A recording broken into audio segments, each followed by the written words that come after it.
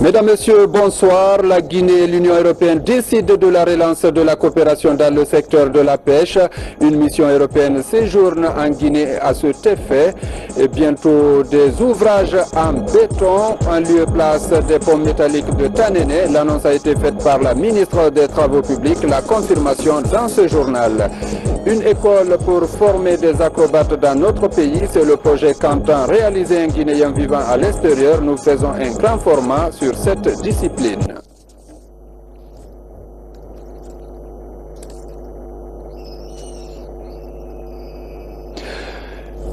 Bonsoir et merci de votre aimable attention. Nous ouvrons ce journal par ce décret portant nomination des présidents de chambre et des commissaires généraux adjoints du gouvernement à la Cour de compte.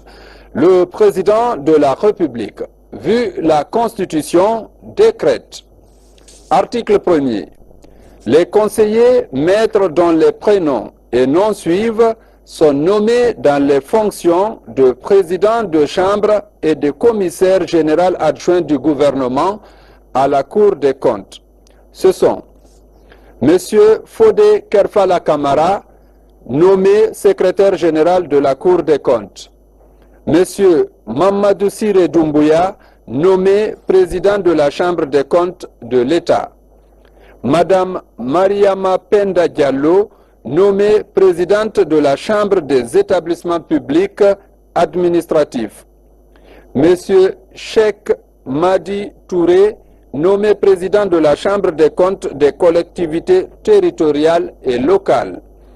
Monsieur Alpha Kabine Sissé, nommé président de la Chambre des entreprises publiques, des institutions bancaires, de crédit et d'assurance et autres organisations. Monsieur Saint-Joseph Kadouno, nommé président de la Chambre de discipline budgétaire. Monsieur Baba Diané, nommé commissaire général adjoint près la Cour des comptes. Monsieur Batrou Laïkaba, nommé commissaire général adjoint près la Cour des comptes. Article 2. Le présent décret qui prend effet à compter de la date de sa signature sera enregistré et publié au journal officiel de la République. Conakry, le 11 février 2016, signé professeur Alpha Condé. Le président de la République a reçu en audience au Palais Sécoutouré à une mission de l'Union européenne.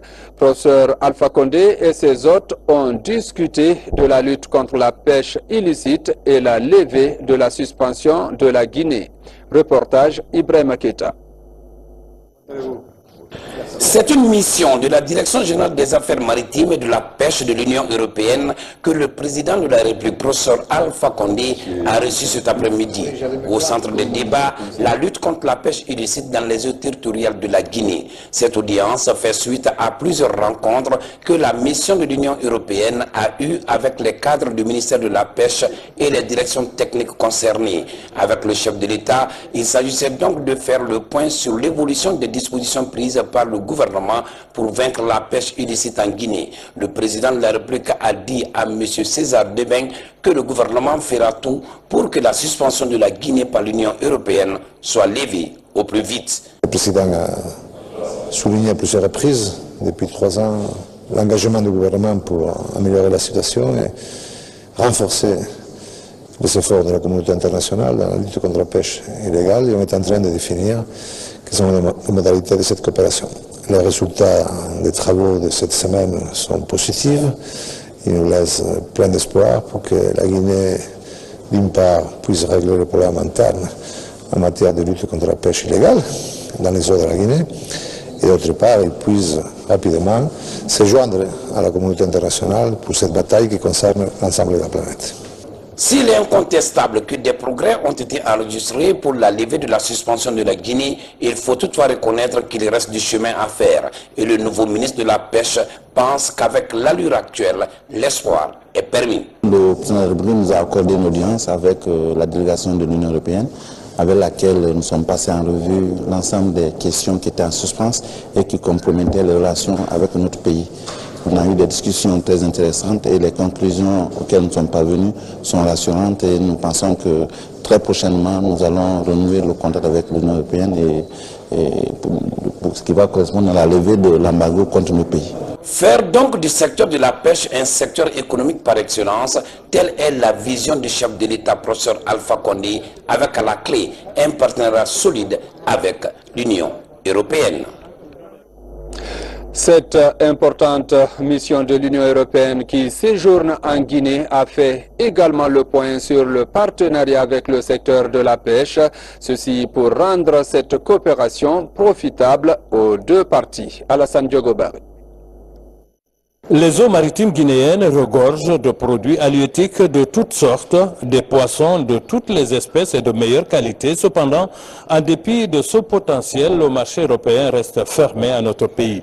À la faveur de plusieurs réformes engagées dans le secteur de la pêche, un dialogue reprend pour booster cette coopération.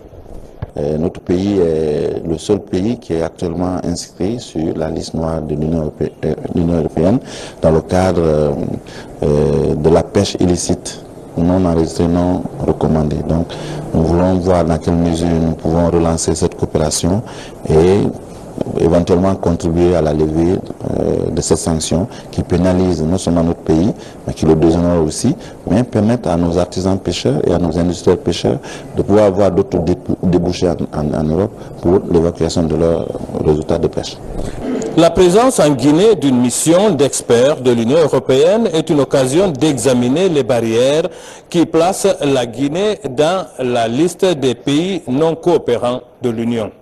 Les entretiens que nous avons menés avec la délégation ont été très fructueux, très franches, on ne s'est rien caché, ça a été très très franc.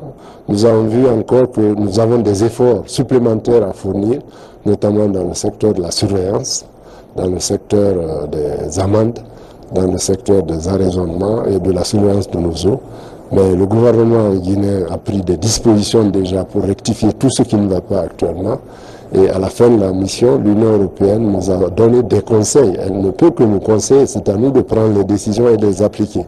Mais l'Union européenne nous a donné à la fin de la mission qui se termine ce soir des recommandations qui ont été transmises à Monsieur le ministre de la Pêche et à Monsieur le ministre conseiller chargé des questions de pêche.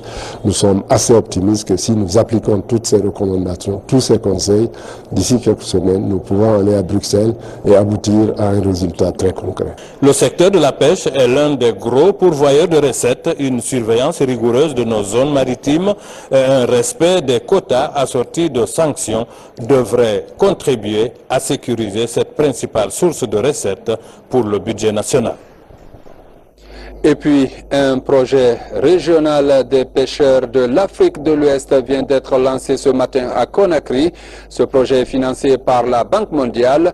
Les participants venus des pays membres comptent s'impliquer dans la lutte contre les mauvaises pratiques au niveau de ce secteur. Compte rendu Moussa Komara. La pêche illicite non déclarée et réglementée sur le littoral ouest africain et l'exploitation abusive de la ressource sont devenues de plus en plus inquiétantes. Face à l'ampleur de ces phénomènes, les acteurs de la pêche réfléchissent ici sur de nouvelles approches. Il s'agit de l'approche régionale initiée par la Banque mondiale il y a 13 ans. Financé par la Banque mondiale à plus de 10 millions de dollars, le projet régional des pêcheurs de l'Afrique de l'Ouest en Guinée, PRAO, vise à renforcer les capacités techniques et matérielles des acteurs pour une pêche durable et augmenter la contribution des ressources marines à l'économie nationale. Au cours des travaux, les parties prenantes passeront en revue les composantes de ce projet pour sauver le secteur. En Guinée, les statistiques nationales révèlent que le secteur de la pêche marine génère plus de 30 000 emplois, dont 18 000 occupés par les hommes et 12 000 par les femmes, avec un total de production estimé à 200 millions de dollars américains. Autre sujet de cette édition, les importateurs de la farine et d'huile alimentaire ont signé hier un protocole d'entente avec le gouvernement sur la non-répercussion de la TVA sur ces produits. L'acte vise à soulager le panier de la ménagère. Explication Yaya Silla. La farine et l'huile alimentaire sont deux produits de haute consommation en Guinée. Ces deux produits ne sont assujettis aux 20% de TVA. La taxation annoncée n'aura donc pas d'impact sur le panier de la ménagère. C'est l'objet de la présente signature de protocole d'entente entre les opérateurs économiques importateurs de Daré et l'État. Librement, on a accepté la signature de ce protocole pour accompagner euh, le gouvernement qui permet aux consommateurs de ne pas payer le TVA à la facturation, ni sur l'huile, ni sur l'eau farine. La relance de l'économie nationale post-Ebola est un challenge pour le gouvernement. Le pays est à quelques mois de la clôture de son programme de déficit de crédit avec le FMI, Banque mondiale. Une fois encore, nous remercions au nom du chef de l'État, au nom du Premier ministre, ces opérateurs qui ont accepté d'accompagner le gouvernement en un moment un peu difficile nous avons des contraintes pour l'accomplissement du programme avec le FMI et où nous sommes aussi dans une phase de négociation avec le syndicat. Euh, pour nous, c'est un grand soulagement euh, parce que nous sommes soumis à un programme, le programme, euh, le programme de facilité élargie de crédit avec le Fonds monétaire international, qui doit nous amener au mois de mars prochain à la conclusion des sixième et septième revues. Je pense que ce protocole ne peut être mieux venu parce que ça va nous aider à pouvoir justifier des niveaux de recettes qui euh, nous sont demandés et aussi de pouvoir effectuer les dépenses euh, projetées. À rappeler que ce programme d'entente n'implique pour le moment que les importateurs étrangers. L'engagement des nationaux sont attendus. Parlant toujours de ces contraintes budgétaires, au sortir de deux ans de crise sanitaire, l'économie guinéenne porte aujourd'hui de façon visible les impacts de l'épidémie. Le gouvernement s'est lancé dans une relance rapide de notre économie, mais pour y arriver, les sacrifices sont à consentir dans l'entretien de Coloma. Le ministre du Budget explique les charges qui pèsent sur l'économie nationale. Je vous propose un extrait. Le principe de flexibilité, oui, mais dans une situation normale. Euh, je vous l'accorde.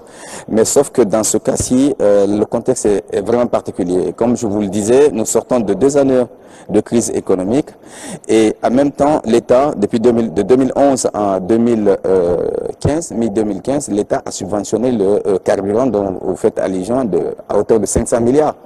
L'État subventionne l'eau, l'État subventionne le courant, l'État subventionne le riz, l'État subventionne, euh, euh, l'État est parvenu éventuellement euh, au cours de cette même période à augmenter les, les salaires de 140%.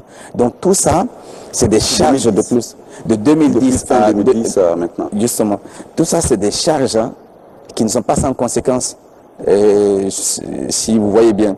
Donc, en plus, on a été amené, pour relancer l'économie, à consentir à des dépenses euh, euh, supplémentaires qui nous ont causé d'ailleurs parce que le déficit actuel est de l'ordre de 1150. L'État a fait ça pour relancer l'économie. Parce que quand on sort d'une euh, léthargie économique, il y a besoin d'investir davantage. Et puisque les partenaires, les investissements de l'étranger ne venaient pas, l'État se devait de prendre ses responsabilités. Et c'est ce qu'on a fait. Volet infrastructure. Bientôt, un appel d'offres sera lancé pour la construction des ouvrages de franchissement à lieu place des ponts métalliques de Tanene. C'est la ministre des Travaux publics qui l'a annoncé. Elle a visité ce matin ces deux ouvrages en cours de réhabilitation. Le constat avec Ansouman Toumani Kamara. Les travaux de réhabilitation de ces quatre ponts à sens unique ont démarré depuis quelques jours. La ministre des TP, en compagnie des cadres de son département, vient s'enquérir du niveau d'avancement de ces travaux exécutés par Metal Plus. Et cette fois, l'exigence de qualité s'impose dans la réalisation. Changer complètement tout ce qui est gâté et reprendre complètement les châssis. Dans un mois, la population dira. Cette route dessert plusieurs préfectures du nord-est de la Guinée ainsi que des régions de la Guinée-Bissau et du Sénégal. La réalisation d'ouvrages de franchissement en béton est imminente à cet endroit. Ce qui est clair, c'est qu'il faut reconstruire ce pont. Ce pont doit être reconstruit. De l'autre côté, l'ancien va servir de, de déviation pendant les travaux, mais il faut reconstruire ce pont. Situé presque à 100 km de la capitale sur la nationale Conakry-Bofa, ces quatre ouvrages de franchissement sur les affluents du fleuve Concouré sont séparés seulement de quelques enjambées. Construits dans les années 60, ils sont aujourd'hui sous le poids de l'âge et des gros porteurs, pour la plupart surchargés. Éducation depuis le lundi, certains enseignants contractuels ont abandonné les classes dans les communes de Dixine et Matam. La situation menace la paix sociale par endroits et porte préjudice à la bonne exécution des cours à quelques mois seulement des examens nationaux. Pour une bonne année scolaire, le ministre de l'Enseignement appelle à la sérénité et au calme. Propos recueillis par Amadou Touré.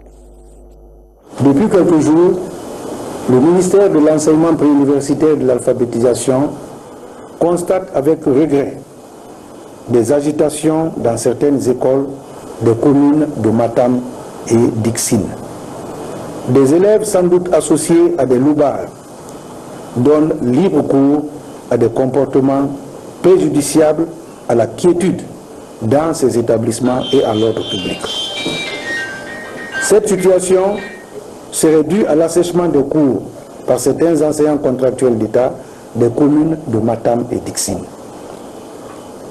Pendant que ces élèves abandonnent leurs écoles, leurs homologues de Conakry et de l'ensemble des 33 préfectures du pays sont calmes et suivent correctement leur programme d'études. En ce qui concerne les enseignants contractuels d'État, notre département qui a instauré la concertation avec eux tient à préciser que le recrutement comme fonctionnaire est subordonné à la loi qui veut que l'accès à la fonction publique se fasse par voie de concours. En attendant cela, l'État leur a régulièrement payé des primes mensuelles même pendant les vacances. Les enseignants de cette catégorie, conscients de la situation actuelle du pays, sont en classe. Toutefois, notre ministère rassure l'opinion publique et l'ensemble des partenaires de l'école que toutes les dispositions sont prises pour le déroulement correct des cours dans les établissements scolaires et tient à préciser que s'il est prêt à travailler avec les enseignants contractuels en activité, il reste ferme quant au remplacement systématique et définitif de tous ceux qui déserteront les classes. Tout élève et enseignant pris en flagrant délit d'incitation de troubles ou de violence sera poursuivi devant la justice. Il est enfin important d'insister auprès des élèves et des parents d'élèves que le calendrier scolaire sera exécuté comme prévu et les dates des examens scolaires maintenues. Personne n'a donc intérêt à perturber les cours. Le ministère de l'enseignement préuniversitaire de l'alphabétisation sait compter sur la compréhension de tous. Comme vous venez euh, de le constater, c'était plutôt le secrétaire général du ministère de l'enseignement préuniversitaire. L'inspecteur général des forces armées et le sous-directeur de la justice militaire ont entamé hier une tournée d'installation des procureurs et substituts militaires des tribunaux dans les quatre régions militaires du pays. La démarche s'inscrit dans le cadre de réforme du secteur. Le point avec adjudant Sekou Kamano. Après sa cour permanente à Conakry, le tribunal militaire installe ses tribunaux en formation spéciale à l'intérieur du pays. La première région militaire de Kindia est le point de départ de l'opération. Ici, le procureur militaire et son substitut prennent fonction. En vertu des pouvoirs qui me sont conférés, vous reconnaîtrez désormais comme procureur militaire du tribunal militaire en formation spéciale de Kindia, le procureur militaire Ali Kamara, ici présent. Vous reconnaîtrez également comme substitut du procureur militaire près euh, du tribunal militaire en formation spéciale de Kindia, le capitaine Adi Massaré, ici présent. Le tribunal militaire à formation spéciale est une innovation de la réforme du secteur de sécurité. Il a pour compétence d'instruire et de juger les infractions d'ordre militaire commises dans la région. Cette installation dénote de la volonté des autorités à lutter contre l'impunité au sein des forces armées guinéennes. La mise en place de ces juridictions militaires témoigne à suffisance la volonté de M. le Président de la République non seulement de lutter contre l'impunité dans nos rangs, mais aussi et surtout permettre aux militaires de bénéficier d'une justice équitable et impartiale. Pour l'heure, ces magistrats militaires relèvent du tribunal de première instance de Kindia. La tournée d'installation se poursuit dans les autres régions militaires du pays. En plus bref, nous vous l'annoncions depuis hier, le pays endeuillé par l'accident de la, de la route à la sortie de Macenta. Voici les images du drame. C'est un bus qui a percuté un camion militaire causant d'énormes dégâts et de pertes en vies humaines. Le bilan est revu à la hausse, 16 morts et une cinquantaine de blessés. Un incendie s'est déclaré ce mercredi dans une concession située au quartier Bessiaport 1.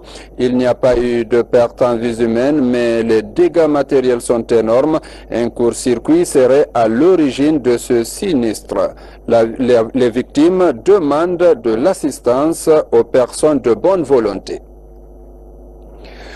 Le secrétariat général aux affaires religieuses a convoqué une réunion d'urgence avec les responsables religieux.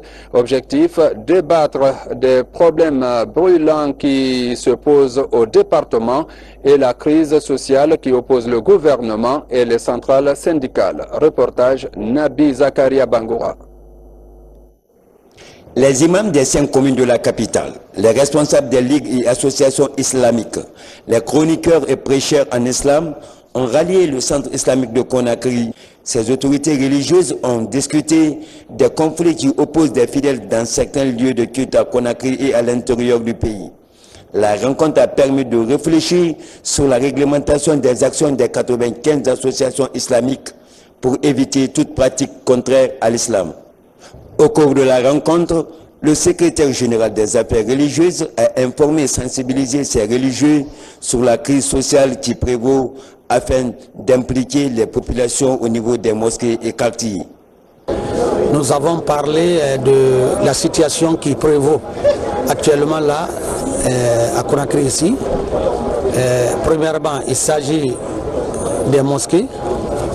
Deuxièmement, les associations islamiques. Et troisièmement, euh, le problème qui est entre euh, les travailleurs, cela est représenté ici par les syndicats et le gouvernement. C'est autour d'une sensibilisation qu'on a fait auprès des imams pour sensibiliser la population euh, à se retenir, à se calmer pour trouver une situation autour d'une table sans sortir sur la rue. Pour ces religieux, cette rencontre vient à point nommé.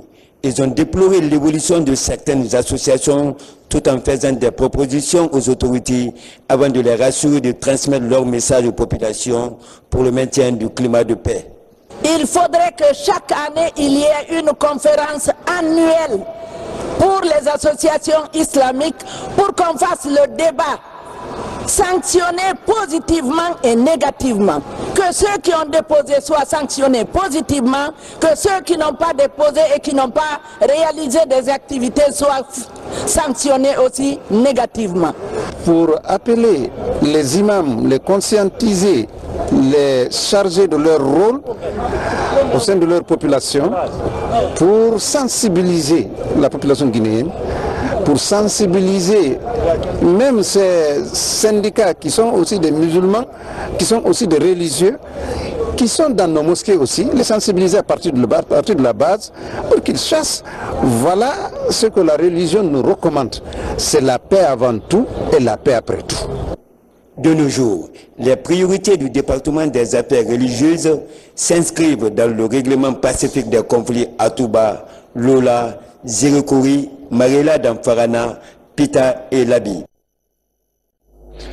Le peuple iranien célèbre le 37e anniversaire de la révolution islamique de 1979. En Guinée, cette fête a réuni autour des ressortissants iraniens, des diplomates et une importante délégation gouvernementale conduite par la ministre des Affaires étrangères. Le temps fort de la cérémonie avec Fatima Diallo. Plusieurs personnalités politiques, représentants d'institutions nationales et internationales, ainsi que des membres du corps diplomatique en poste à Conakry ont répondu à l'invitation de l'ambassade d'Iran. Le 37e anniversaire de la révolution islamique est un moment de réjouissance après la levée des sanctions économiques et financières contre l'État islamique. create new way between cooperation between Iran and all of the countries, and as like as Guinea.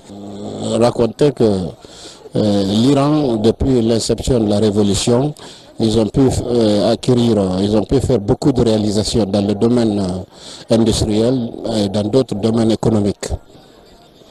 La Guinée vient de traverser la période euh, d'Ebola. Et ensuite, euh, avec euh, l'élection pacifique euh, du président et la levée des sanctions sur l'Iran, il peut donc euh, nommer l'année 2016 comme une année de coopération. Les convergences de vues entre l'Iran et la Guinée, tous deux membres de la Oumma islamique, sur des questions d'intérêt commun, intéressant le renforcement de la paix et de la sécurité, la lutte contre la pauvreté dans le cadre d'une coopération internationale plus juste et plus équitable, sont la preuve de l'existence des liens d'amitié, de solidarité et de fraternité unissant nos deux peuples. Depuis 1979, l'Iran célèbre le 11 février de chaque année la révolution islamique. L'une des disciplines artistiques prisées par plusieurs jeunes à Conakry est l'acrobatie. Elle est pratiquée par contorsion du corps. Younoussa Bangoura est acrobate guinéen évoluant à l'extérieur. Il a mis plusieurs projets en marche en vue d'aider d'autres jeunes du pays. Aujourd'hui, il travaille sur la construction d'une école d'acrobates. Reportage Marie-Angélique Bangoura. Yamoussa Bangoura est acrobate. Fruit du circus Baobab, une troupe qu'il a intégrée depuis l'âge de 16 ans. Yamoussa a aimé son métier. Aujourd'hui, il en tire profit. On représente la Guinée, on est l'ambassadeur de la Guinée à l'étranger. Et euh, on va dire une chose que la Guinée doit être fière d'avoir les artistes comme on a aujourd'hui. Et, euh, et les anciens qu'on avait avant, ils nous ont ouvert les portes comme les ballets africains, les Bimbia Jazz, le circus Baobab, le ballet Joliba, tout ça, ça a été une ouverture de porte. Et maintenant, les jeunes, nous, on est vraiment, on fait la danse, mais on, apporte aussi quelque chose d'autre. Mais comme les Nyamakala, eux autres aussi, c'est les artistes de cirque euh, traditionnels. Donc, tous ces gens ont ouvert la porte. Donc, maintenant, nous, on a la facilité et, euh, on travaille maintenant dans la sécurité et euh, on peut aboutir à un, à un niveau qu'on n'avait pas hier. Après Circus Baobab, Yamoussa a mis sa propre structure d'acrobate en place. Il s'agit du groupe Kalabanti. La version locale du groupe est gérée par son grand frère. Yamoussa, lui, est basé au Canada, d'où il s'occupe des autres entités évoluant à l'extérieur. Parce qu'au début, avec les élèves qui sont là, c'est pas du tout facile. Euh, par exemple, quand on vient de commencer, donc euh, ça, il faut avoir du courage. Mais au début, tu, tu vas, tu vas laisser directement. Ça progresse très, très, très, très bien actuellement. Parce qu'ils ont, ils ont, ils ont une maîtrise maintenant qui est là. Les enfants de la famille Bangoura de l'Ansanaya n'ont des yeux que pour l'acrobatie. Yamoussa, Mfanli, Ismaël, tous sont passés par là. Il faut qu'ils travaillent dur comme moi, puis j'ai beaucoup travaillé avant d'arriver là où je suis actuellement, parce que c'est dans un groupe qui est vraiment reconnu quand même, c'est du Soleil. Donc euh, je travaille actuellement avec eux, puis avec mon propre groupe, Calabante Production, Big Respect to parce que c'est eux qui, m'ont donné l'op- l'opportunité de faire ce que je fais actuellement. Yamoussa et ses partenaires font progresser le groupe Kalabante. Ils offrent des opportunités de voyage aux mœurs d'entre eux. En perspective, le deuxième groupe Kalabante se prépare pour une nouvelle tournée européenne de six mois. Après trois années de formation, la sixième promotion LMD de l'université Mercure International vient de recevoir leur diplôme de fin de cycle. La cérémonie s'est tenue au Palais du Peuple. La promotion porte le nom de feu Georges Faragé Gandhi Tunkara, fondateur de cette université. Reportage Sa Amaratolno. Cette remise de diplôme marque le passage de la vie estudiantine à la vie active pour ces 300 étudiants de l'Université Mercure International. Au bout de trois années d'études, ces jeunes diplômés se disent confiants face à leur nouvelle aventure. Depuis le début de mon cursus universitaire, j'ai appris euh, des connaissances, il y a eu des connaissances acquises dès le début.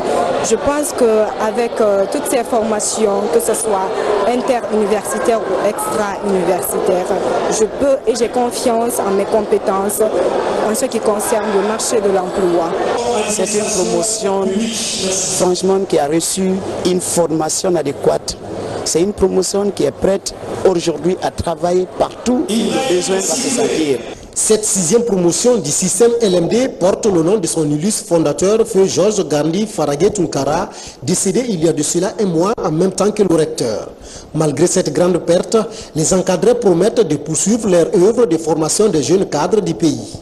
Il y a un mois, on pleurait ici deux morts et aujourd'hui, on célèbre une cérémonie de diplôme. Donc c'est ça la vie, ce sont des leçons de la vie en réalité. Après la mort, il y a la vie. 300 jeunes qui vont avoir leur diplôme aujourd'hui est un réconfort. La vie scolaire est finie. Ils entament une nouvelle vie, tout aussi importante. Cette vie doit les conduire un apprentissage de tous les jours. Au Palais du Peuple, cadre de cette mobilisation, la joie est immense et l'ambiance festive pour les récipiendaires entourés de leurs proches. Tous repartent avec l'espoir de se tailler une place au soleil. Mesdames, Messieurs, c'est la fin de cette édition. Merci à vous qui nous regardez dans le Baté Nafagui et partout ailleurs dans le monde. Je vous dis merci de votre aimable attention.